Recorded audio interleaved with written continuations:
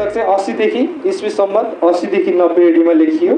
प्रेरित पाउन प्रेरित यहुन्नाले लेखे। र उसले लेख्नुभन्दा अगाडि उसले पावलको सबै शिक्षाहरूलाई उसले पढिसकेको थियो। उसले महसुस गरिसकेको थियो। र उसको पुस्तकमा के छ? पावलको शिक्षाहरूसँग मिल्दो कुराहरू पनि उसले आफ्नो पुस्तकमा ल्याएको छ। र यो चौथो सुसमाचार यो चाहिँ यमुनाको सुसमाचार चाहिँ अहिलेसम्म सबैभन्दा धेरै घृणा गरिएको भनौँ न। सुसमाचारको पुस्तक चाहिँ धेरै घृणा गरिएको सुसमाचारको पुस्तक भनेर पनि मानिन्छ। अनि यसलाई एउटा घृणा गरिएको एउटा लेखोट भनेर पनि मानि मानिन्छ। अनि विशेष गरी कसले त? भन्दाखेरि चाहिँ यहुदीहरू र मुस्लिम्सहरूले। किन भन्दाखेरि चाहिँ यहुदी र मुस्लिमहरूले के गर्दैन यसुलाई? परमेश्वर भनेर स्वीकार गर्दैन। तर यौनाको पुस्तकको थिमै के हो? यीशु चाहिँ को हुनुहुन्छ अरे? परमेश्वरको पुत्र हुनुहुन्छ। है? त्यो कारणले चाहिँ उनीहरूले चाहिँ के गर्दैनन्? प्रभु यीशु क्रिस्टलाई परमेश्वर भनेर स्वीकार नगरेको कारणले चाहिँ उनीहरूले के भन्छन् भन्दाखेरि चाहिँ यमुनाले चाहिँ यो पुस्तक आफै बनाएर लेखेको हो। यमुनाको पुस्तक चाहिँ बाइबलमा राखिनु हुँदैन भनेर चाहिँ उनीहरूले त्यस्तो खाले व्याख्या पनि गर्दछन्। तर मुस्लिमहरूले पनि पुरानो करारलाई पनि मान्छ। है? नयाँ करारको सुसमाचारको पुस्तकलाई पनि मान्छ। तर यहुन्नाको पुस्तकलाई चाहिँ उनीहरूले यो भरपर्दो पुस्तक होइन यसमा यसलाई हामीले पढ्नु हुँदैन भन्छ। किनभने यहुन्नाको पुस्तकले चाहिँ के भन्छ? यीशु ख्रिस्ट चाहिँ परमेश्वर हुनुहुन्छ भनेर दाबी गर्छ। यीशु ख्रिस्ट परमेश्वरसँगै बराबरी हुनुहुन्छ भनेर दाबी गर्छ। यहुन्नाको पुस्तकले चाहिँ यीशु चाहिँ अनन्तदेखि हुनुहुन्थ्यो भन्छ। पहिलो पदमै होइन? आदिमा वचन हुनुहुन्थ्यो वचन परमेश्वरसँग हुनुहुन्थ्यो। र वचन नै को हुनुहुन्थ्यो? परमेश्वर हुनुहुन्थ्यो। यस्तो दाबी चाहिँ के गरिदिन्छ? यमुनाको पुस्तकले सुरुकै पदमा गरिदिन्छ। अनि यो चाहिँ एकदम आपत्तिजनक कुरो हो मुस्लिमहरूको लागि चाहिँ। यहुदीहरूको लागि चाहिँ। त्यही भएर चाहिँ यमुनाको पुस्तक अति नै गहिरो र एकदमै आत्मिकी कुराहरूले भरिएको पुस्तक चाहिँ छ। हामी तिनवटा सुसमाचार हेर्छौँ भने त्यहाँ राज्यको कुरा धेरै गरिएको छ भौतिक कुरा धेरै गरिएको छ भने यमुनाको पुस्तकमा चाहिँ आत्मिकी कुरा धेरै गरिएको छ। हामी एकदमै महत्त्वपूर्ण पदहरू पाउँछौँ यमुनाको पुस्तकमा। है कोही नयाँ गरी जन्मेन भने उसले के गर्न सक्दैन? परमेश्वरको राज्य देख्नु सक्दैन। यो चाहिँ आत्मिकी कुरा थियो। यहुदी मान्छेले बुझेन त्यो कुरा निकोदमसले। के आमाको गर्भमै गएर फेरि जन्म लिने हो त? भौतिक रूपले बुझिरहेछ उसले। होइन तर यो चाहिँ आत्मिकी कुरा थियो। होइन? प्रवेशले भन्नुहुन्छ यमुनाको पुस्तकमा तिमीहरूले साँच्चै मेरो रोटी खाएनौ भने साँच्चै मेरो शरीर खाएनौ साँच्चै रगत खाएनौ भने तिमीहरूले अनन्त जीवन पाउँदैनौ। तर प्रभुले चाहिँ आत्मिकी कुरा भनिरहनु भएको थियो साँच्चै उहाँको शरीर र रगत खाने त भनेको होइन? होइन यमुनाको पुस्तकमा चाहिँ उहाँले आत्मिकी तवरले धेरै कुराहरू चाहिँ के गर्नुहुन्छ? प्रभु यीशु बोल्नुहुन्छ। र यो अति नै गहिरो किनभने यहुन्ना भनेको यीशुसँगै एकदम टाँसिएर होइन? यीशुको छातीमा ढुकढुकिने भनेको छ नि मण्डली। त्यस्तै यीशुको अति नै परम मित्रको यीशुको यीशुको अति नै नजिक भएको आफ्नो चेलाले लेखेको पुस्तक भएको कारणले यीशुले बताउनु भएको एकदमै गहिरो र महत्त्वपूर्ण शिक्षाहरू हामी यमुनाको पुस्तकमा पाउँछौँ। र मण्डलीमा कोही नयाँ व्यक्तिहरू आयो भने पनि हामीले के भन्छौँ? बाइबल पढ्न दिँदाखेरि सुरुबाटै यमुनाको पुस्तक पढ्नु चाहिँ भन्छौँ हामीले। किन भन्दाखेरि त्यो बुझ्नलाई अति सजिलो र एकदमै महत्त्वपूर्ण पुस्तक रहेको छ। त्यही भएर यो पुस्तक लेखिनेको उद्देश्य यही पुस्तकमै भनेको छ यमुना बिसको एकतिसमा। यमुना बिसको एकतिसमा। अब यो किन लेखिएको यहाँ यहुन्नाले आफैले भन्छन्? तर यसु नै परमेश्वरको पुत्र ख्रिस्ट हुनुहुन्छ भने तिमीहरूले विश्वास गर्न सक र विश्वास गरेर तिमीहरूले उहाँको नामद्वारा जीवन पाओ भने यी चाहिँ लेखिएका हुन् भनेको आमेन। यहाँ भनेको छ होइन ताकि यीशु नै ख्रिस्ट हुनुहुन्छ भने तिनीहरूले चिन तिनीहरूले विश्वास गर्न सक र त्योद्वारा तिमीहरूले जीवन पाउन सक भनेर चाहिँ यो पुस्तक लेखिएको हो भनेर चाहिँ के त यहाँ यहुन्नाले भन्दछ। र आज चाहिँ हामी आजको यो मुख्य खण्डमा हामी जानेछौँ एकदेखि एकको उन्तिसबाट हामी जानेछौँ र अति नै महत्त्वपूर्ण खण्डमा हामी आइसकेका छौँ। र यहाँ चाहिँ यहुन्नाले के गरेका छन् अहिलेसम्म? गवाई दिएको कुरा हामी पाउँछौँ। प्रभु यीशु ख्रिस्टको गवाई दिइरहेका छन् यहुन्नाले छुट्टै छुट्टै प्रकारको गवाई। होइन? यीशु वचन हुनुहुन्थ्यो। यीशु मानिसहरूको ज्योति हुनुहुन्थ्यो। होइन? यीशु परमेश्वरको पुत्र हुनुहुन्थ्यो। यो कुराहरू भन्दै गर्दाखेरि चाहिँ अब उन्तिस पद्य उन्तिस पदमा आएर के के भनेको छ यहुन्नाले चाहिँ? यहाँ यसरी लेखेको छ। भोलिपल्ट यहुन्नाले यीशुलाई आफू कहाँ आइरहनु भएको देखे? र भने हेर परमेश्वरको थुमालाई जसले संसारको पाप उठाइ लैजानुहुन्छ आमेन। अब यहाँ भनेको छ यो हुन्नाले चाहिँ यीशुलाई आइरहनु भएको देखेर अब यहाँ यीशुले फेरि गवाही दिन्छन्। कस्तो रूपमा दिन्छन् भन्दाखेरि चाहिँ यीशुलाई चाहिँ के भनेको छ हेर परमेश्वरको थुमा भनेर भनेको छ त्यहाँ र मैले आजको वचनको शीर्षक पनि मैले त्यही राखेको छु हेर परमेश्वरको थुमा हामी यहाँ देख्छौँ कि प्रभु यीशु ख्रिस्टलाई चाहिँ थुमा भनेर भनिएको छ बाइबलमा है? यहाँ पहिलोपटक हामी नयाँ करारमा देख्छौँ यीशुलाई थुमाको रूपमा प्रस्तुत गरिएको छ र यीशुको व्यक्तित्व थुमाको रूपमा यहाँ चाहिँ प्रकटीकरण गरिएको चाहिँ हामी देख्छौँ अब यसुलाई प्रभु यीशु ख्रिस्टलाई चाहिँ बाइबलमा धेरै नामहरू दिएको छ। जस्तै हामी पुरानो करारमा देख्छौँ उहाँलाई शक्तिशाली परमेश्वर भनेर भनेको छ। होइन यस या नौको छमा हामी हेर्छौँ भने उहाँलाई एकदमै परमेश्वरलाई दिइने नामहरू पनि दिएको छ उहाँलाई। यसै नौको छमा यसरी लेखेको छ किनभने हाम्रा निम्ति एउटा बालक जन्मिएको छ र हामीलाई एउटा पुत्र दिइएको छ। अनि शासन उहाँको काँधमाथि हुनेछ। अनि उहाँको नाम अद्भुत सल्लाहकार शक्तिशाली परमेश्वर अनन्तकालका पिता शान्तिका राजकुमार कहलिनेछ भनेको छ अब हामी देख्छौँ यीशुको बारेमा यहाँ भविष्यवाणी हुँदैछ र उहाँको नाम चाहिँ के के हुनेछ भनेर भन्दाखेरि चाहिँ शक्तिशाली परमेश्वर भनेको छ यहाँ। उहाँको नाम अनन्तकालका पिता भनेको छ यहाँ चाहिँ। है? अनि शान्तिका राजकुमार यस्तो यस्तो नाम पनि यसुलाई दिएको छ। र धेरै नामहरू अझै हामी देख्छौँ बाइबलमा होइन? उहाँलाई अल्फा र ओमेगा भनिन्छ। उहाँ सुरुवात र अन्त्य आदि र अन्त्य उहाँ नै हुनुहुन्छ अभिषिक्त मसिहजन उहाँ हुनुहुन्छ। अनि उहाँलाई अभिषिक्त ख्रिस्ट भनेर पनि भनिएको छ। उहाँलाई इम्यानुएल पनि भनेर भनिन्छ। प्रकाश उन्नाइस अध्यायमा उहाँलाई राजाहरूका राजा प्रभुहरूका प्रभु भनेर पनि भनिएको छ। र यमुनाको पुस्तकले भन्छ उहाँ वत्सन हुनुहुन्छ। है? यमुनाले भन्छन् उहाँ बाटो सत्य र जीवन हुनुहुन्छ। र यति धेरै नामहरूमध्ये यो चाहिँ प्रभु यीशु ख्रिस्टको अति नै अनि बहुमूल्य र महत्त्वपूर्ण नाउँ चाहिँ परमेश्वरको थ्रुमा हो। भएर हामी देख्छौँ यहुन्ना चाहिँ यस्तो व्यक्तिको अगाडि उभिँदैछन् अहिले। यीशु ख्रिस्टको अगाडि। है? जसको चित्रण चाहिँ के गरिएको छ पुरानो करारको हरेक बलिदानमा गरिएको छ क्या। त्यस्तो व्यक्तिको अगाडि उभिएर यो उन्नाले चाहिँ के भन्दैछन् हेर परमेश्वरको थुमा भनेर भन्दैछ जसको चित्रण चाहिँ पुरानो करारको हरेक बलिदानहरूमा भएको छ। हरेक बलिदानहरूमा। अनि हामी बाइबलको व्याख्या गर्ने पहिलो उद्धृत गर्ने सिद्धान्त अनुसार यदि हामी जान्छौँ भने सबभन्दा पहिलो पटक बाइबलमा रगत कति बेला बगाइयो भन्दाखेरि चाहिँ उत्पत्ति तिन अध्यायमा हामी हेर्छौँ भने जब आदम र हप्पाले पाप गरे परमेश्वरले के गर्नुहुन्छ एउटा निष्कोट होइन एउटा चाहिँ के त? निर्दोष। पाठो। होइन एउटा थुमाको रगत बगाएर चाहिँ के गर्नुहुन्छ? प्रभु प्रभु यीशु ख्रिस्टको चित्रण हो त्यो चाहिँ। परमेश्वरले चाहिँ के गर्नुहुन्छ? एउटा निष्कलङ्क थुमाको चाहिँ रगत बगाएर है उत्पत्ति तिनको एक्काइसमा लेखेको छ। त्यसरी परमेश्वरले के गर्नुहुन्छ? आदम र हब्बाको नग्नता ढाक्नलाई चाहिँ परमेश्वरले एउटा थुमाको बलि चढाउनुहुन्छ।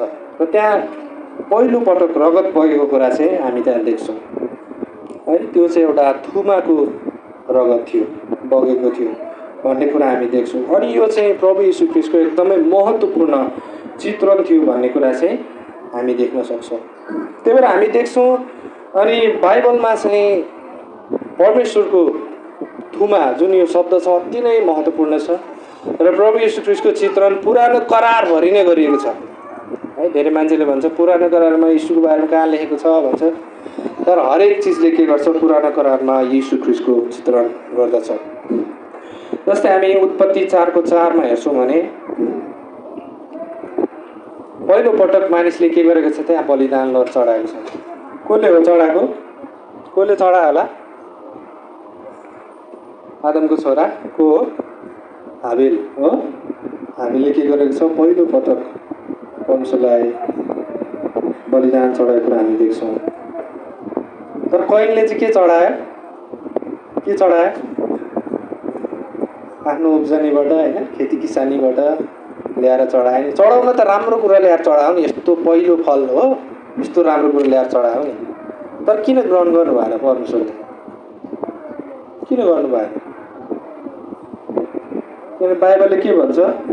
रगत नबगाइकन के हुँदैन? पापको क्षमा हुँदैन। आदम कहिले हामीलाई थाहा थियो परमेश्वरले चाहिँ उसको आमा बाबाको निम्ति एउटा थुमा काटेर उनीहरूको नग्नता ढाकिदिनु भएको थियो भनेर। तर कहिले चाहिँ त्यो कुरालाई विचार गरेन उसले चाहिँ के बलिदान लगेन परमेश्वरको सामु। खाने कुरा हो उब्जनीबाट पनि लिएर गयो। तर परमेश्वरले त्यो ग्रहण गर्नु भएन त्यो चाहिँ संसारको धर्म जस्तै हो। संसारको संसारले पनि के गर्छ? राम्रो कुरा चढाउँछ नि परमेश्वर लगेर तीर्थ जान्छ दान दक्षिणा गर्छ धेरै कुरा गर्छ। त्यो चाहिँ कैनको धर्म भनेको चाहिँ संसारको धर्मसँग तुलना गरिएको छ। तर हाबिलको जुन प्रक्रिया छ हाबिलको जुन तरिका छ त्यो चाहिँ परमेश्वरले दिनुभएको तरिका हो। जुन चाहिँ बलिदान प्रथा जुन आदम र हब्बाबाट परमेश्वरले सुरु गर्नुभयो र हाबिलले पनि त्यही कुरा पछ्याएको कारणले अनि परमेश्वरले चाहिँ के गर्नुहुन्छ? उसको बलिदानलाई ग्रहण गर्नुहुन्छ। परमेश्वरले उसलाई धर्मी व्यक्ति बन्नुहुन्छ त्यो कुरा हामी देख्न सक्छौँ है? त्यतिखेर सबभन्दा पहिलोपटक प्रभु यीशु ख्रिस्ट त्यहाँ चित्रण गरिनुहुन्छ। अनि उत्पत्ति बाइस अध्यायमा हामी हेर्छौँ भने उत्पत्ति बाइसमा त्यहाँ पनि प्रभु यीशु ख्रिस्टको चित्रण हामी पाउँछौँ। उत्पत्ति बाइसको आठमा यसै लेखेको छ। अनि अब्रामले भने मेरो छोरा परमेश्वर आफैले होम निम्ति पाठोको प्रबन्ध गर्नुहुनेछ। अनि यसरी उनीहरू सँगसँगै हिँडे भन्छ अब हामी देख्छौँ अब्रामले पनि के गर्छन्? प्रभु यीशु ख्रिस्टको चाहिँ भविष्यवाणी गरेको हामी देख्छौँ। थुमाको बारेमा भविष्यवाणी होइन परमेश्वरले के गर्नुहुन्छ? झुटाउनुहुन्छ होइन? मानव जातिको लागि चाहिँ के त? एउटा निष्कलङ्क थुमा होइन एकदमै एउटा निष्ठोर थुमा परमेश्वरबाटको थुमा त्यो चाहिँ परमेश्वर आफैले जुटाउनुहुन्छ भनेर चाहिँ यहाँ भनिरहेको छ। है अझ इङ्ग्लिसमा पढ्छौँ भने गड हिमसेल्फ भनेको छ क्या। परमेश्वर आफै थुमाको रूपमा प्रस्तुत हुनुहुनेछ भनेर चाहिँ त्यस्तो तरिकाले अझ व्याख्या गरिएको छ। अनि यो चाहिँ अति नै महत्त्वपूर्ण भविष्यवाणी हो यीशु ख्रिस्टको बारेमा। हामी प्रस्थानमा पनि हेर्छौँ भने प्रस्थान बाह्र अध्यायमा प्रस्थान बाह्रको एक्काइसबाट अनि हामी देख्छौँ जब इजरायलीहरू चाहिँ मिश्र देशको दासत्वमा थियो त्यतिखेर अन्तिम विपत्तिको समयमा परमेश्वरले उनीहरूलाई के भन्नुभएको थियो थाहा छ? एउटा निस्कोट थुमा काट्नु हो त्यसको रगत चाहिँ के गर्नु? ढोकाको होइन माथिपट्टि दायाँ बायाँ लगाउनु होइन? त्यो चाहिँ एउटा प्रभु चित्रण थियो त्यो पनि हो? प्रस्थान बाह्रको एक्काइसदेखि लेखेको छ यसरी। तब मुसाले इजरायलका सबै बुढा प्रधानहरूलाई बोलाएर तिनीहरूलाई भने जाऊ आफ्ना परिवारहरू अनुसार आ आफ्नो पाठो ल्याऊ र निस्तारको पाठो मार। अनि तिमीहरूले एक झुप्पा हिसाब लिनु र त्यसलाई भाँडामा भएको रगतमा चोप्नु र चौकोसको माथिल्लो तेर्सो काठ र दुईपट्टिका खाँबाहरूका खाँबाहरूमा भाँडामा भएको रगत छ्याप्नु अनि बिहानसम्म तिमीहरू कोही पनि आफ्नो घरको ढोकाबाट बाहिर ननिस्कनु।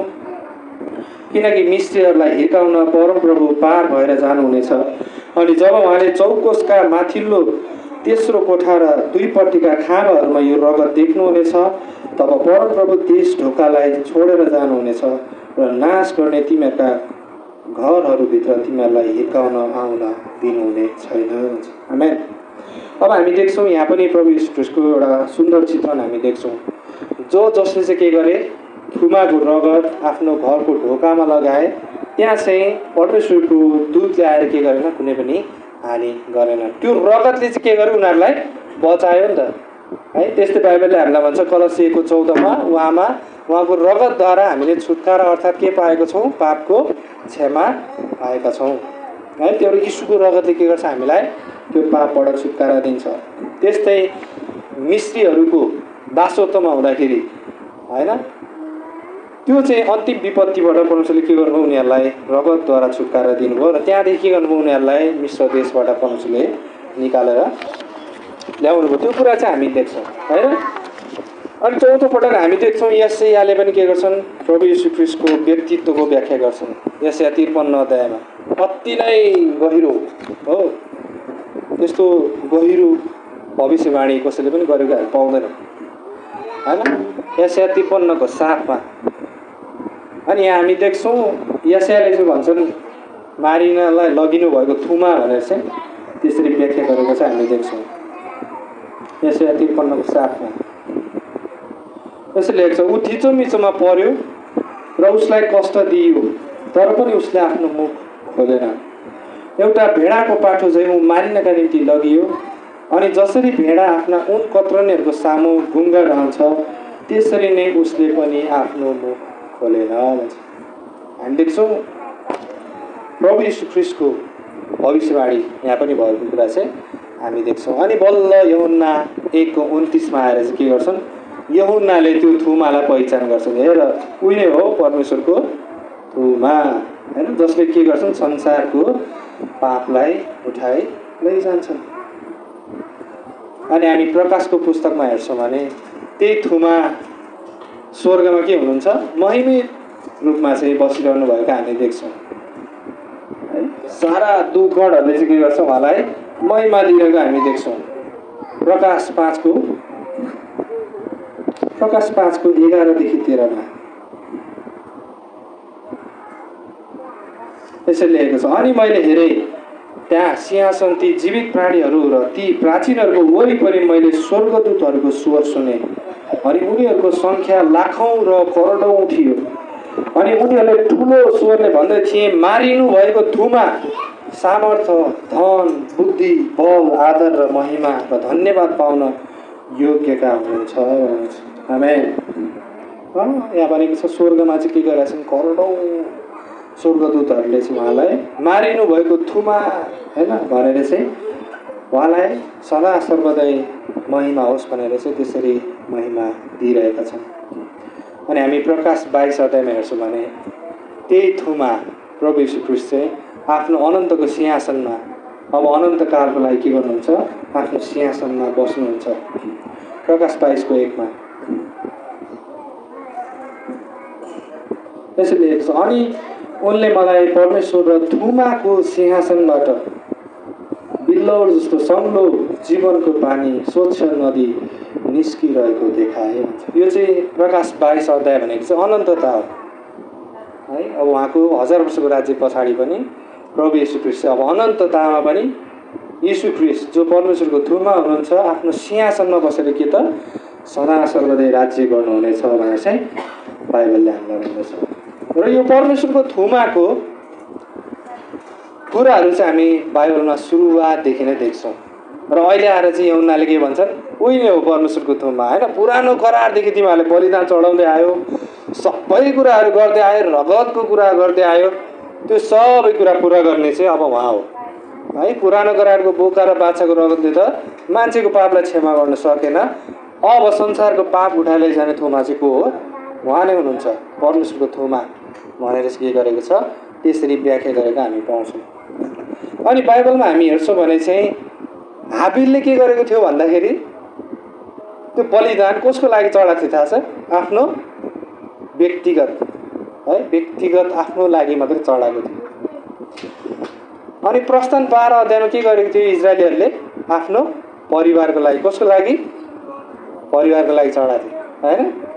अनि हामी लेबीको पुस्तकमा हेर्छौँ भने प्रायश्चितको दिनमा कसको लागि चढाइन्थ्यो? सारा इजरायल राष्ट्रको लागि चढाइन्थ्यो नि त होइन? एउटै बलिदान राष्ट्रको लागि चढाइन्थ्यो। तर अहिले यमुना एकको उन्तिसमा आएर के भन्छन्? यमुनाले कतिजनाको पाप उठाइ लैजाने थुमारे? संसारको हो। सारा संसारभरिको भनेछ त होइन हेर परमेश्वरको थुमालाई जसले संसारको पाप उठाइ लैजानुहुन्छ। त्यो भएर यीशु ख्रिस्ट चाहिँ सारा संसारको पाप उठाइ लैजाने थुमा हुनुहुन्छ। आमेन। हो यीशु ख्रिस्ट चाहिँ सबैको लागि मर्नु भएको हो। है काल्भिनिस्टहरूले भने जस्तो उहाँ चुन्नेको लागि मात्रै मर्नु भएको होइन? सबैको लागि मर्नु भएको उहाँ चाहिँ। सारा संसारको लागि मर्नु भएको। त्यही भएर पहिले यौना दुई अध्यायमा भन्छ पहिले यौना दुईको एक र दुईमा।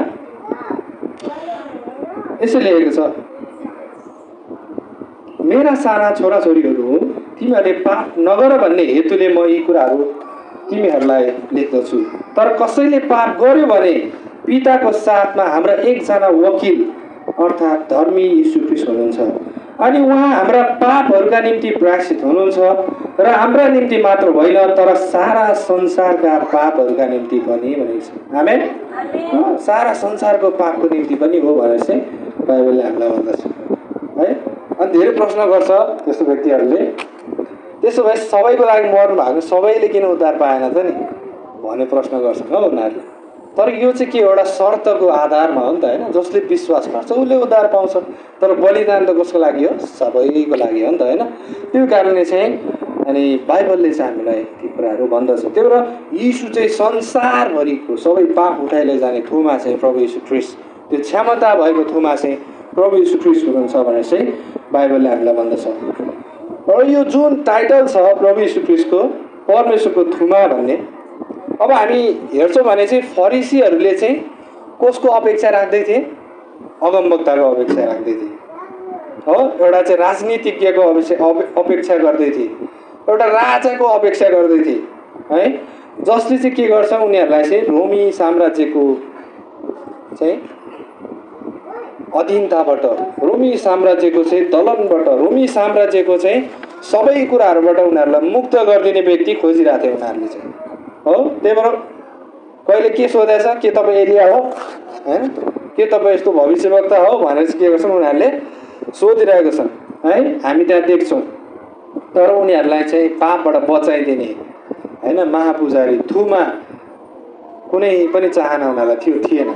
किन उनीहरूको मनमा पापप्रति कुनै पनि घृणा भन्ने कुरै थिएन। इजरायल राष्ट्र चाहिँ त्यतिखेर पूर्ण रूपले चाहिँ पापमा पतन भएको थियो। त्यो कुरा चाहिँ हामी देख्छौँ।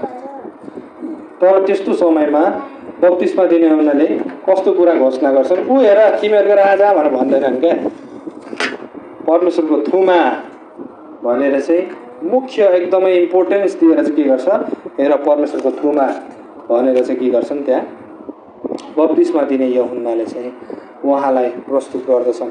त्यो कुरा चाहिँ हामी देख्न सक्छौँ। किनभने अहिले त्यतिखेरको समयमा उनीहरूलाई राजाको भन्दा पनि बढी उनीहरूको पापलाई मेटी लैजाने त्यो थुमाको चाहिँ उनीहरूलाई जरुरी थियो भन्ने कुरा चाहिँ हामी त्यहाँ देख्न सक्छौँ। है यदि उहाँ राजा भएर आएको उनीहरूलाई उनीहरूले के गर्ने थिए यीशुलाई चाहिँ स्वागत गरेर त्यो सिंहासनमा बसालिहाल्थ्यो क्या। त्यस्तो गर्न पनि खोजेको पनि हो। तर त्योभन्दा अगाडि चाहिँ उनीहरूले कसलाई स्वीकार गर्नुपर्ने थियो? थुमालाई स्वीकार गर्नुपर्ने थियो। यीशु राजगद्दीमा बस्नुभन्दा अगाडि चाहिँ उहाँ मारिनुहुन्छ भन्ने कुरा चाहिँ पहिले भविष्यवाणी भइसकेको थियो। त्यही भएर त्यो कुरा चाहिँ एकदमै जरुरी कुरा थियो। आज हामी हेर्छौँ भने यसुलाई धेरै मान्छेहरूले के गर्छन्? स्वीकार गर्छन्। नगर्ने होइन। के को रूपमा होइन सञ्चारले के गर्छ? डक्टरको रूपमा स्वीकार गर्छ होइन हाम्रो रोग निको बनाइदिने यीशु हो यीशु होइन अनि गुरुको रूपमा स्वीकार गर्छ हो? मुस्लिमहरूले पनि के गर्छ? हाम्रो अगमवक्ता हो यीशु त। यीशु होइन? स्वीकार गर्छन् अगमवक्ताको रूपमा होइन? हिन्दूहरूले पनि के गर्छन्? हाम्रो करोडौँ देवी देवता मध्ये एउटा देवता हो यीशु होइन? स्वीकार गर्छ नि त्यस्तो रूपले त। तर यीशु चाहिँ सारा संसारको पाप उठाइ लैजाने परमेश्वरको थुमा भनेर चाहिँ स्वीकार गर्दैन उनीहरूले। होइन उनीहरूले गर्दैन यो कुरा चाहिँ मुस्लिमहरूले यसो मर्नु भएको भनेर स्वीकार गर्दैन। यसो मर्नु भएकै छैन भन्छ मुस्लिमहरूले। कुरानमा पनि त्यही लेखेको छ। तर बाइबलले त त्यसो भन्दैन। हो? हिन्दू धर्मका हिन्दू धर्मका मान्छेहरूले पनि यीशुको बलिदानलाई उनीहरूले स्वीकार गर्दैन। उनीहरूले एउटा यीशुलाई राम्रो व्यक्ति हो मात्रै भन्छन् त्यति हो सक्यो एउटा हाम्रो हाम्रो एउटा भगवान् हो भन्छन् उनीहरूले। तर बाइबलले त्यसो भन्दैन। है? बाइबलले चाहिँ त्यसो भन्दैन। त्यही भएर हामीले सबभन्दा पहिला क्रुसमा टाँगिनु भएको यीशुलाई स्वीकार गर्नुपर्छ। जसले चाहिँ हाम्रो पाप उठाएर लैजानुहुन्छ आमेन? हामीलाई धनी बनाइदिने यसु निको पारिदिने यसु हामीलाई चाहिँ राम्रो फिल गराउने महसुस गराउने यसु मात्रै चाहिएको होइन। तर हामीलाई चाहिँ सबभन्दा मुख्य कुरो चाहिँ के चाहिएको? हाम्रो संसारको हाम्रो हामी सबैजनाको पाप उठाइ लैजाने थुमा परमेश्वरको थुमा सिद्ध बलिदान चाहिएको आमेन? हो त्यही भएर परमेश्वरले चाहिँ त्यो कुरा चाहिँ यहाँ यहुन्नाद्वारा के गर्दै हुनुहुन्छ? घोषणा गर्दै हुनुहुन्छ। त्यो त्यो कुरा चाहिँ हामी यहाँ देख्छौँ। त्यही भएर कति समय चाहिँ के गरिरहेछ अहिले? झुटो इस्युको प्रचार भइरहेछ। वास्तविक सुसमाचार प्रचार हुँदैन धेरै अहिले। है? सच्चाइ समुदायको कुराहरू आयो धेरै झुटा शिक्षाहरूको कुराहरू आयो मुस्लिम्सहरूको कुराहरू आयो होइन? के गरिरहेको छ? झुटो यसु प्रचार गरिरहेको छ। त्यही भएर पावरले पनि भन्छ नि होइन? त्यहाँ के छ? अर्कै यसु पनि छ अर्कै आत्मा पनि छ अर्कै सुसमाचार पनि छ। त्यहाँ हामीले वास्तविक यीशुलाई चिन्नुपर्छ। वास्तविक यीशु चाहिँ को हुनुहुन्छ जो हाम्रो सं हाम्रो हामी सबैको पापको निम्ति मर्नु भएको उहाँ चाहिँ हाम्रो वास्तविक यीशु जो चाहिँ स्वर्गको परमेश्वर अनन्त परमेश्वरसँग साझेदारी गराउने व्यक्ति उहाँ चाहिँ वास्तविक यीशु हुनुहुन्छ। त्यही भएर जुन चाहिँ प्रचार ख्रिस केन्द्रित हुँदैन जुन चाहिँ प्रचारले हामीलाई हाम्रो पापको बोध गराउँदैन है त्यो चाहिँ के हो? पवित्र आत्माबाट भएको प्रचार चाहिँ होइन है? जुन प्रचारले हामीलाई वचनतर्फ डोराउँदैन त्यो प्रचार पवित्र आत्माबाट होइन जुन प्रचारले हामीलाई यसुतर्फ लाँदैन त्यो प्रचार चाहिँ पवित्र आत्मातर्फबाट होइन होइन एउटा परमेश्वरको असल सेवक बत्तिसमा दिने हुनाले भन्छन् मलाई हेर भनेको छ छ म कति राम्रो छु भनेको छ छैन। कसलाई हेर भनेको छ? कसलाई हेर? हेर परमेश्वरको थुमालाई किनभने एउटा परमेश्वरको सेवाको काम के हो? यीशुलाई देखाइदिने। होइन? त्यस्तो काम चाहिँ उसको काम हो। त्यही भएर त्यो कुरा चाहिँ हामी यहाँ एउटा असल सेवकको एउटा चरित्र पनि हामी यहाँ देख्छौँ। अनि यो परमेश्वरको थुमा भन्ने जुन यो टाइटल छ यो टाइटलले अर्को कुरा के पनि देखाउँछ भन्दाखेरि चाहिँ यीशु क्रिस्टको नैतिक सिद्धतालाई पनि देखाउँछ। है? किनभने बाइबल अनुसार चाहिँ पुरानो कुरा अनुसार थुमा चाहिँ कस्तो हुनु पर्थ्यो निष्कोट हुनु पर्थ्यो कस्तो हुनु पर्थ्यो निष्कोट कुनै पनि खोट नभएको होइन एकदम योग्य। त्यहाँ बलिदान चढाउन योग्य एकदमै निष्कोट थुमा हुनु पर्थ्यो। त्यसमा अनि त्यो कुराले चाहिँ के गर्छ प्रभु यीशु क्रिस्टको नैतिक सिद्धतालाई देखाउँछ। भनेको अर्थ चाहिँ प्रभु यीशु क्रिस्ट चाहिँ अति नै निष्कोट हुनुहुन्थ्यो पाप रहित हुनुहुन्थ्यो। प्रभु यीशु क्रिस्टको आफ्नै वचन अनुसार उहाँले कहिले पनि स्त्रीलाई नरम नजरले हेर्नु भएन। उहाँले कहिले पनि नराम्रो विचार गर्नु भएन। उहाँले कहिले पनि झुट बोल्नु भएन। उहाँ एकदमै सिद्ध परमेश्वरको थुमा हुनुहुन्थ्यो। दोस्रो ग्रन्थी पाँचको एक्काइसमा भनेको छ। पाँचको एक्काइसमा। किनकि उहाँमा हामी परमेश्वरको धार्मिकता बन्न पाऊँ भनेर परमेश्वरले पापै नजान्नु हुनेलाई हाम्रा निम्ति पाप तुल्याउनु भयो भन्छ। पापै नजान्नु हुनेलाई। उहाँमा कुनै पनि एक पर्सेन्ट पनि पापै थिएन। उहाँ हन्ड्रेड पर्सेन्ट होली परमेश्वर जो शरीरमा आउनुभएको परमेश्वर चाहिँ उहाँ हुनुहुन्थ्यो। अनि हामी देख्छौँ त्यो समयमा जब बत्तिसमा दिने उन्ना प्रचार गर्दै आए त्योभन्दा अगाडि चाहिँ चार सय वर्ष परमेश्वर के गर्नु भएन? इजरायलीहरूसँग बोल्नु भएन। थाहा छ किन बोल्नु भएन? इजरायलीहरूलाई परमेश्वरको वचनको मतलबै थिएन। व्यवस्थामा के लेखेको छ मतलब छैन उनीहरूलाई। केही पनि मतलब छैन। उनीहरू बलिदान त ल्याउँथ्यो तर सस्तो सस्तो होइन? यसो देखाउनको लागि हो? त्यो पनि खुट्टा भाँचिएको हात भाँचिएको। त्यस्तो खाले बलिदानहरू ल्याएर चढाउँथ्यो उनीहरूले। अनि पुजारीहरू चाहिँ मासु काट्ने मान्छे जस्तो के? त्यो बलिदानको कुनै अर्थ पनि छैन। पुजारीको पनि मन्दिरमा कुनै अर्थ छैन। किनभने इजरायलीहरूले के गरिसकेको थियो दशांश ल्याउन छोडिसकेको थियो तर मलाई के भन्छ? ल्याऊ दशांश ल्याऊ घरमा ल्याऊ। किनभने पुजारीहरू चाहिँ दशांश नभएर अब खेतमा काम गर्न गइसकेको थियो मन्दिरमा काम गर्ने मान्छे। अब खानु त पऱ्यो हो? अनि के गर्ने? किन भन्दाखेरि इजरायल चाहिँ पूर्ण रूपले पतन भइसकेको थियो क्या त्यतिखेर चाहिँ। भ्रष्ट भइसकेको थियो। तर मलाई के भन्छ सम्पूर्ण भोजन भण्डारमा ल्याऊ। है अनि हामी जस्तो सेवक चाहिँ पुरा खेतमा गएर काम गरिरहेको थियो हो। जब गरिरहेको थियो। त्यसरी त्यो समयको अवस्था चाहिँ त्यस्तो थियो एकदमै पतन भइसकेको थियो। त्यतिखेर चाहिँ परमेश्वरले के गर्नुभयो? अनि आफ्नो थुमा ल्याउनु भयो क्या। मान्छेले परमेश्वरलाई गिल्ला गरे त्यतिखेर चाहिँ। परमेश्वरको रीतिको गिल्ला गर्यो त्यहाँ।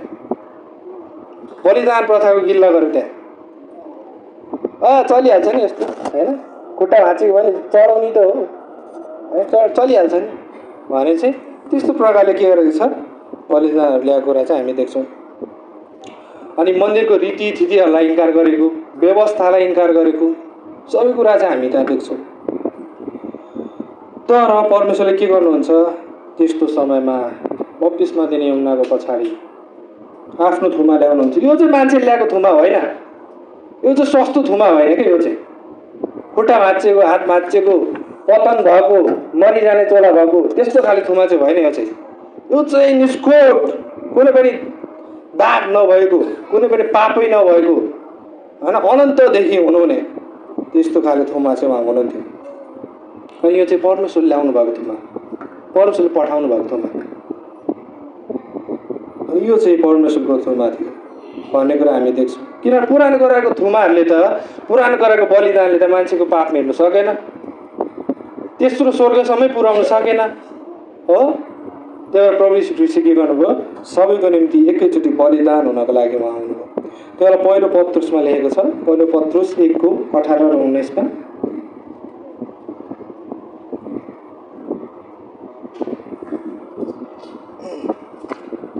यसो लेखेको छ किनकि तिमीहरू जान्दछौ तिमीहरूका पिता पुर्खादेखि चलिआएको तिमीहरूको व्यर्थको चालचलनबाट तिमीहरूले चाँदी र सुन जस्ता नाश हुने चिजद्वारा छुटकारा पाएका होइनौ। तर निर्दोष र निष्कलङ्क धुमाको रगत अर्थात् ख्रिसको बहुमूल्य रगतद्वारा छुटकारा पाएका हौ। आमेन। यहाँ भनेको छ सुन चाँदी बहुमूल्य पत्थर तिरेर चाहिँ किनेको होइन परमेश्वरले हामीलाई।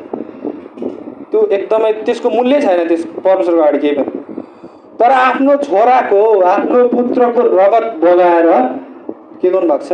हामीलाई किन्नु भएको छ। त्यो त्यति बहुमूल्य थुमा हामी निम्ति चढ चढाइनु भएको मारिनु भएको भन्ने कुरा चाहिँ हामी देख्न सक्छौँ। अनि यो परमेश्वरको थुमा भन्ने टाइटलले के गर्छ? उहाँको नम्रतालाई पनि देखाउँछ। यसैले भन्छन् जसरी भेडा उन कत्रनीको सामु मौन रहन्छ। प्रभु यीशु त्यसरी मौन भएर के गर्नुभयो? उहाँ बलि चढाइनु भयो लगिनु भयो नि त त्यसरी।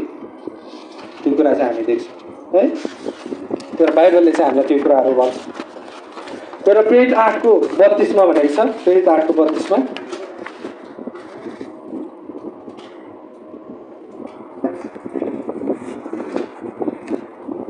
प्रेरित आठको बत्तिसमा यसो लेखेको छ अनि तिनले पढिरहेको पवित्र शास्त्रको खण्ड चाहिँ यो थियो है? एसियाको पुस्तक पढिरहेको थियो इथोपियन नपुंसकले अनि त्यहाँ चाहिँ कुन चाहिँ खण्ड आयो भन्दाखेरि ठ्याक्कै यही खण्ड आयो। भेडा चाहिँ उहाँ मारिनका निम्ति लगिनु भयो। अनि जसरी थुमा आफ्नो उन कत्रिनेको सामु चुपचाप रहन्छ त्यसरी नै उहाँले आफ्नो मुख खोल्नु भएन यसले चाहिँ उहाँको नम्रता उहाँको समर्पणता देखाउँछ। त्यो कुरा चाहिँ हामी देख्छौँ है। जसरी फिलिपी दुई अध्यायले भन्छ उहाँ मृत्युसम्म के हुनुभयो? आज्ञाकारी हुनुभयो। परमेश्वरको बराबरी हुने कुरालाई के गर्नु भएन? उहाँले लुटको माल सम्झाउनु भएन। तर उहाँले कमारोको रूप धारण गरेर आफै मानव भएर उहाँ मृत्यु समय आज्ञाकारी हुनुभयो त्यो कारण चाहिँ त्यसले प्रभु ख्रिस्टको नम्रतालाई पनि देखाउँछ। त्यही भएर यो संसारको खाँचोलाई पुरा गर्नको लागि मानिसलाई सिद्ध बनाउनको लागि चाहिँ प्रभु ख्रिस्ट एकैचोटि के गर्नुभयो? हाम्रो निम्ति बलि हुनुभयो। त्यही भएर हिब्रू दस अध्यायमा लेखेको छ। हिब्रू दसको दसदेखि बाह्र। हिब्रू दसको दसदेखि बाह्र। यसै लेखेको छ। त्यही इच्छाद्वारा यीशु ख्रिस्टको शरीरको एकैचोटिको बलिदानद्वारा हामी पवित्र पारिएका छौँ। अनि दिनहुँ हरेक पुजारी सेवा गर्दै घरिघरि एकै प्रकारका बलिदानहरू चढाउँदै खडा रहन्छन्। जुन बलिहरूले कहिले पाप हरण गर्न सक्दैन। तर यी व्यक्ति त पापहरूका निम्ति एउटै बलिदान चढाएर सदाका निम्ति परमेश्वरको दाहिने हातपट्टि बस्नुभयो छ। आमेन। प्रभु यीशु पुरानो गराएको पुजारी चाहिँ दिन दिनै दिन दिनै बलि चढाउने। आफ्नोलाई पनि चढाउने अरूलाई पनि चढाउने। किनभने ऊ आफै पापी मानिस हो। र उसले चढाउने बलिदान पनि के हो? सिद्ध बलिदान होइन त्यो दिनदिनै चढाइराख्नुपर्छ। तर प्रभु यीशु ख्रिस्ट चाहिँ के त? उहाँले के गर्नुभयो? एकैचोटिको बलिदानमा हामी सबैलाई पवित्र पारिदिनु भयो है? त्यही भएर यहाँ भनेको छ नि त होइन एकैचोटिको बलिदानद्वारा हामी पवित्र पारिएका छौँ भन्छ त्यो सधैँको लागि थियो एउटै बलिदान। है? त्यही भएर रोमी एकको आठले भन्छ अब ख्रिस्टमा हुनेहरूलाई के को आज्ञा छैन? दण्डको आज्ञा छैन। आज्ञा छैन ख्रिस्टमा हुनेहरूलाई चाहिँ। किनभने हाम्रो भूत वर्तमान भविष्य सबै पापको लागि उहाँ एकैचोटि बलि हुनुभयो भनेर चाहिँ बाइबलले हामीलाई भन्दछ। है त्यही भएर चाहिँ यो परमेश्वरको थुमा भन्ने चाहिँ अति नै महत्त्वपूर्ण अति नै गहिरो कुरा छ भन्ने कुरा चाहिँ हामी देख्न सक्छौँ। हामी हाम्रो मुख्य खण्डमा जाउँ यौना एकको। हामी अर्को पदमा जाउँ तिस पदमा।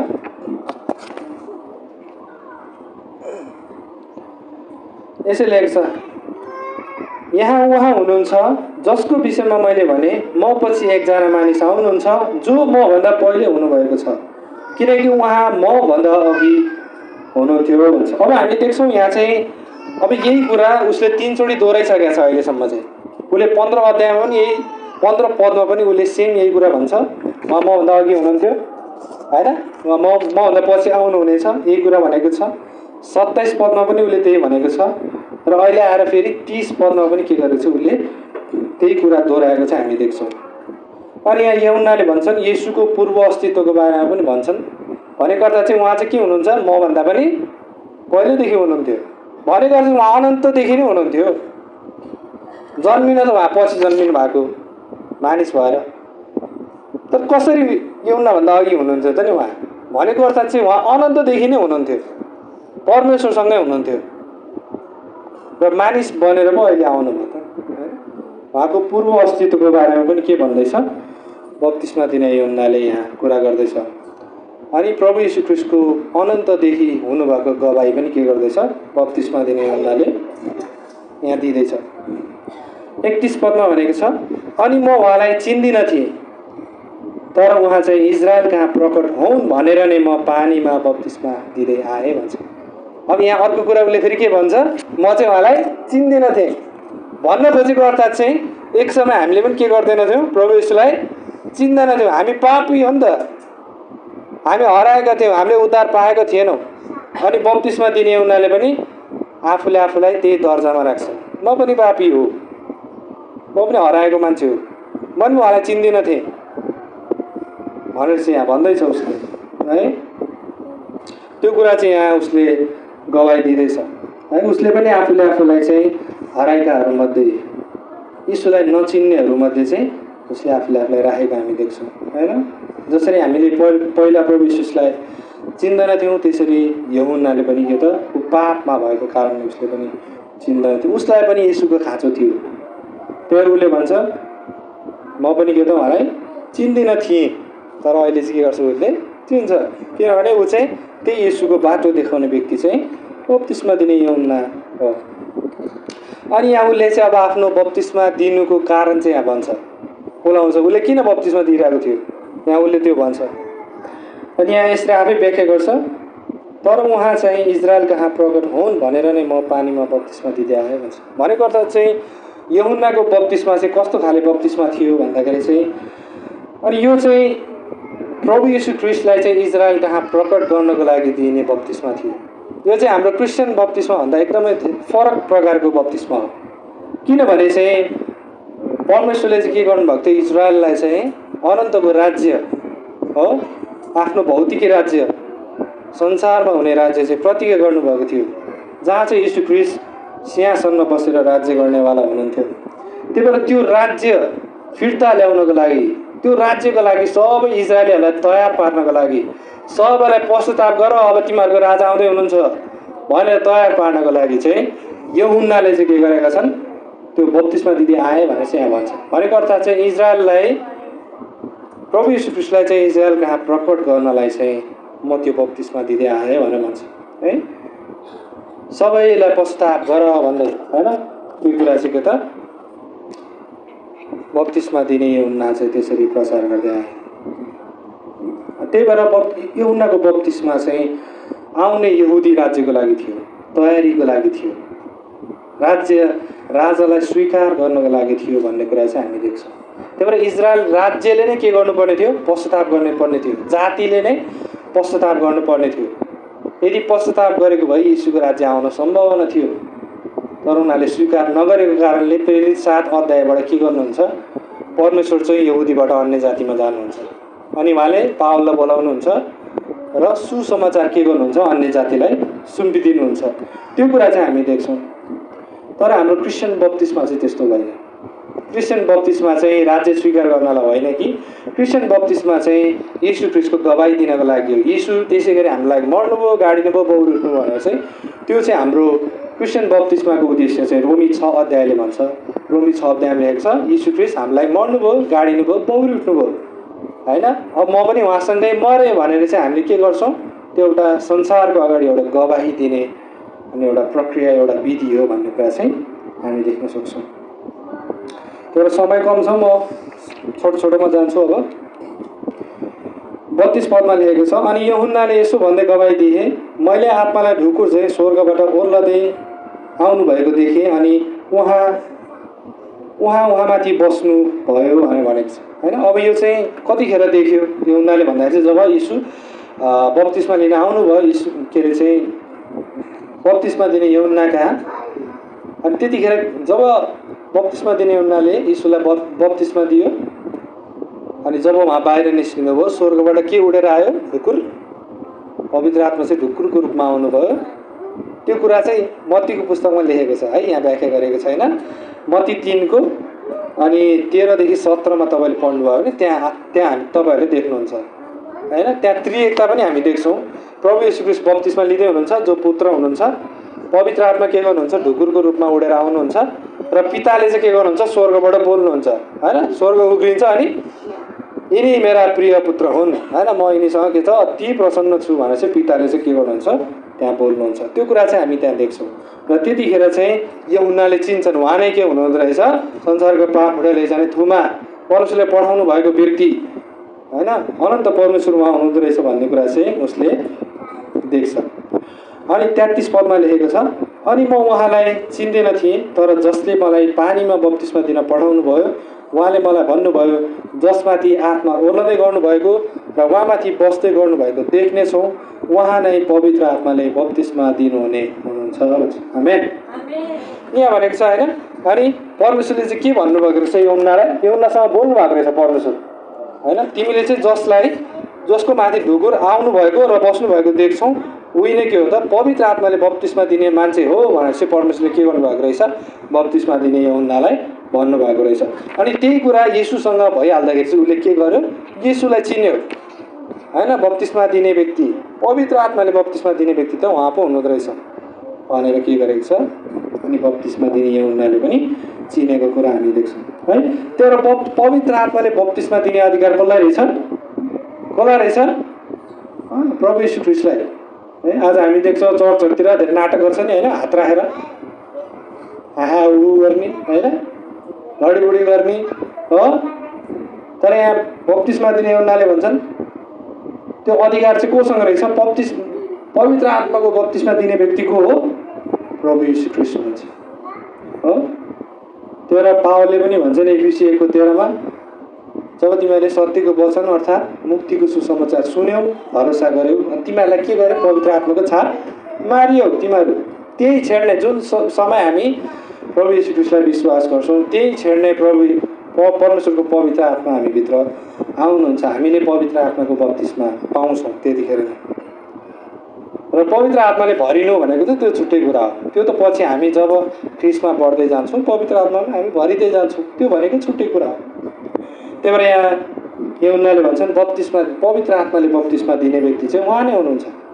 को हुनुहुन्छ प्रभु यीशु भनेर चाहिँ अनि त्यसरी चाहिँ यहाँ बत्तिसमा दिने यहाँ उनीहरूले चाहिँ यहाँ भन्दछ। तर हामी आज त्यो धेरै चर्चहरूमा त्यस्तो देख्छौँ त्यो चाहिँ त्यो अबाइबलीय क्रियाकलाप त्यो चाहिँ बाइबल अनुसार चाहिँ होइन त्यो कुराहरू चाहिँ बाइबलको शिक्षा विपरीत छ भन्ने कुरा चाहिँ हामी देख्न सक्छौँ। अन्तिम चौतिस पदमा। अनि मैले देखेँ र यहाँ नै परमेश्वरका पुत्र हुनुहुन्छ भने मैले गवाई देखेको छु भन्छ। अब त्यही क्षण के गर्यो? उसले चाहिँ प्रभु यीशुलाई चिन्यो अनि उसले अर्को गवाई के दियो? उहाँ चाहिँ को हुनुहुन्छ अरे? परमेश्वरको पुत्र हुनुहुन्छ भने के गरेको छ? उसले गवाई दिएको कुरा चाहिँ हामी देख्न सक्छौँ। अब बत्तिसमा दिने यौनाले चाहिँ यहाँ सात प्रकारको गवाई दिएको हामी देख्छौँ होइन? उसले पन्ध्र पदमा हेर्छौँ भने उसले के भन्छ म मभन्दा अघि हुनुहुन्थ्यो उहाँ होइन? एउटा चाहिँ उहाँको पूर्व अस्तित्वको गवाई दिन्छ होइन? अनि तेइस पदमा हेर्छौँ भने चाहिँ उहाँ प्रभु हुनुहुन्छ भन्ने गवाई दिन्छ क्या उसले चाहिँ होइन? तेइस पदमा हामी हेऱ्यौँ भने त्यहाँ के भनेको छ परमप्रभुको बाटो सोझो पार भन्ने कराउने व्यक्ति चाहिँ हो? म हो। अनि बत्तिसमा दिने उनीहरूले कसको बाटो तयार पार्दै थियो? यीशुको। कसको बाटो? तर परमप्रभुको बाटो तयार पार भनेको यीशुको बाटो तयार पार भन्न खोजेको। यीशु चाहिँ प्रभु हुनुहुन्छ परमेश्वर हुनुहुन्छ भन्ने कुरा पनि त्यो चिजको गवाई पनि के त बत्तिसमा दिने उनीहरूले दिँदै थियो है? अर्को गवाई उसले के दिँदै थियो सत्ताइस पदमा हामीले हेर्छौँ भने ऊ चाहिँ यीशुको जुत्ताको फित्ता खोल्ने लागेको पनि छैन। भनेको अर्थ उहाँ यति सार्वभौम परमेश्वर हुनुहुन्छ कि उहाँ यति सर्वोत्कृष्ट मानिस हुनुहुन्छ कि म त उहाँको जुत्ता खोल्ने जुत्ताको फित्ता खोल्ने लागेको पनि छैन भनेको छ त्यहाँ होइन? त्यस्तो खालको गवाई पनि उसले त्यहाँ दिएको हामी देख्छौँ। होइन? नाप्नै नसकिने के त? सर्वोच्चता यीशु क्रिस्टको त्यो कुरा चाहिँ हामी देख्छौँ। उहाँको त जुत्ता खोल्ने लागेको पनि छैन म फित्ता खोल्ने लागेको पनि छैन भनेर चाहिँ भन्छ। उन्तिसमा के भनेको छ? कस्तो खाले गवाई दिन्छ उन्तिसमा? उहाँको बलिदानको गवाई दिन्छ। संसारको पाप उठाइ लैजाने थुमा भनेर भन्छ। होइन? अनि अर्को गवाई के दिन्छ उसले? बत्तिस पदमा। उहाँको नैतिक सिद्धताको गवाई दिन्छ। उहाँ नै हुनुहुन्छ होइन? पवित्र आत्माले बत्तिसमा दिने होइन? बत्तिसदेखि चौतिस पदमा चाहिँ त्यो कुराको गवाई चाहिँ उसले दिन्छन् होइन? अनि अर्को अन्तिम गवाई उसले के दिन्छन्? उहाँ चाहिँ परमेश्वरको पुत्र हुनुहुन्छ। उहाँ स्वयं परमेश्वर हुनुहुन्छ भनेर चाहिँ के गर्छ? त्यस्तो गवाई दिएको कुरा चाहिँ हामी देख्न सक्छौँ है? त्यो कारणले चाहिँ अब बत्तिसमा दिने यौना जस्तै जो चाहिँ के को लागि आएको थिए? यीशुको गवाई दिनको लागि आएको थिए। है? र उसले चाहिँ यीशुको थोरै कुरा मात्रै भनेन राम्रो राम्रो कुरा मात्रै भन पूर्ण रूपले के गर्यो? उसले यीशुको बारेमा चाहिँ गवाई दियो। आजको मान्छेहरू चाहिँ यसुलाई चङ्गाइदिन्छ चङ्गाइदिन्छ मात्रै भनेन उसले। उसले चाहिँ यीशुको बारेमा सबै कुराको गवाई दियो। आजको झुटो प्रचारकहरू जस्तो चाहिँ उसले त्यो कुराहरू गरेन। त्यस्तै परमेश्वरले आज हामीलाई पनि के गर्नुभएको छ? गवाही हुनको लागि के गर्नुभएको छ। हामीलाई ठहराउनु भएको छ। हामी ट्वेल्थ आठमा भनेको छ। यसो लेखेको छ तर पवित्र आत्मा तिमीहरूमाथि आउनु भएपछि तिमीहरूले सामर्थ्य पाउनेछौ र एरुसलेममा सारा यहुदिया सामरिया अनि पृथ्वीको छेउसम्म तिमीहरू मेरा निम्ति साक्षी हुनेछौ हामी तर परमेश्वरको सेवक परमेश्वरको असल दास छोराछोरीहरू सेवकहरू उनीहरूले चाहिँ के गर्छन्? परमेश्वरको गवाई दिन्छन्। के गर्छन् रे?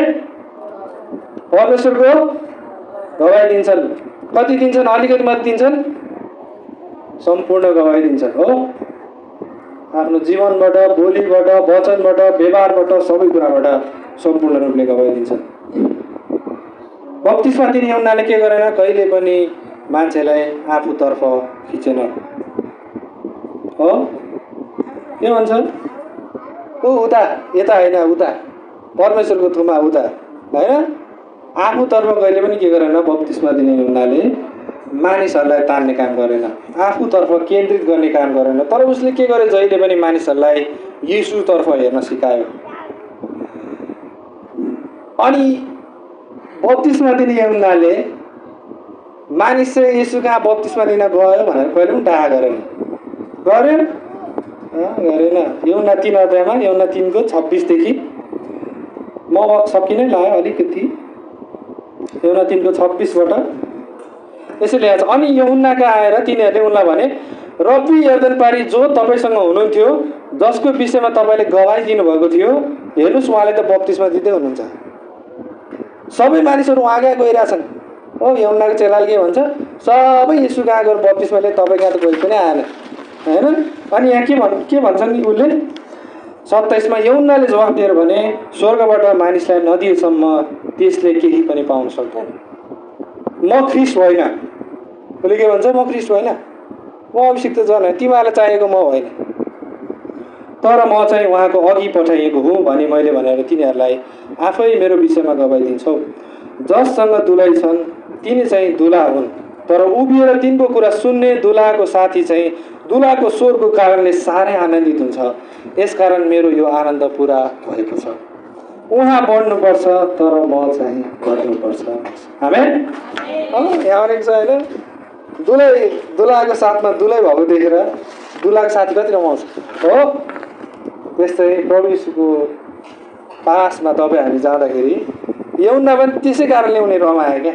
म क्रिस भएर तिमीहरू जानुपर्छ त्यहाँ हो त्यही उसले गएर पनि डाहा गरेन मारिस क्रिस कहाँ भने उसले गएर पनि डाहा गरेन तर यीशुलाई चाहिँ के गर्छ उसले उचालेको छ म घट्नुपर्छ यीशु चाहिँ के गर्नुपर्छ अरे बढ्नुपर्छ भन्ने कुरा चाहिँ उसले त्यो कुराहरू चाहिँ गर्यो त्यही भएर उसले चाहिँ साहससँग के गर्यो यीशु चाहिँ परमेश्वरको पुत्र हुनुहुन्छ जो चाहिँ हाम्रो पापको निम्ति मर्न आउनुभयो भन्ने कुरा पूर्ण रूपले उसले घोषणा गर्यो भन्ने कुरा चाहिँ हामी देख्छौँ त्यही भएर जब हामी यीशुलाई हेर्न सिक्छौँ तब हामीले के देख्छौँ आफ्नो पाप देख्छौँ। आफ्नो कमजोरी देख्छौँ। मलाई यीशुको खाँचो छ भन्ने कुरा हामी थाहा पाउँछौँ महसुस गर्छौँ। हो? त्यही भएर यासियाले पनि त्यही गर्यो नि त जब परमेश्वरको दर्शन देखेँ उसले के म त कस्तो अशुद्ध ओठ भएको मानिस हो हे प्रभु। होइन? पत्रुसले भने नि म त पापी मानिस हो म हटार नबस्नुहोस् प्रभु जानुहोस् भनेर चाहिँ। जब हामी यसुलाई वास्तविक रूपमा चिन्छौँ हामीले हाम्रो पापमय अवस्थालाई देख्छौँ। त्यही भएर हामी एउटा अन्तिम पद पढेर अनि आजको हामी अन्तिम गर्नेछौँ। है त यसै एकको अठारमा